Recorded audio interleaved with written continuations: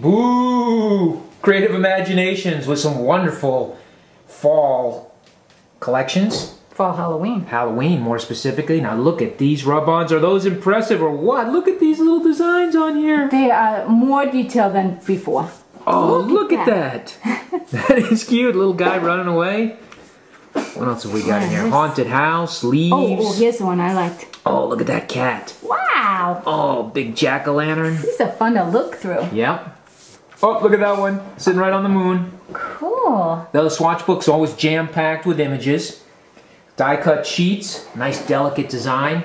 Ah, and Makes these for a unique page. Sorry, I'm onto the tags. I Oh, you're onto the tags already. oh, they're great. Yep. Finding the perfect pumpkin.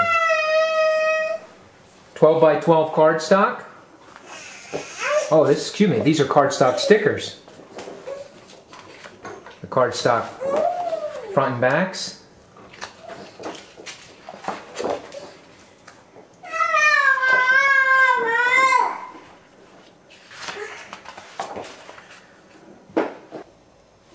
Looks like goblins are in the air with the Studio Basics 101, Creative Imaginations. Nice whimsical Halloween images. And tell me you don't need one of these sheets of Eek! Eek! Is I that- do! Is cool? I love that. Eek, eek. Look at the bat up on that top of the house. Oh, that's a great page. Oh man. This has also uh, f- uh, glitter worked in around the edge. I don't know if you're picking it up on the video.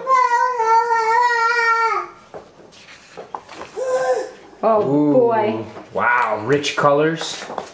Oh man, these Oh, are which- really unique. Yeah, which side are you going to use? Oh, Now look at this. Got the glitter worked in with a almost a raised edge around the side.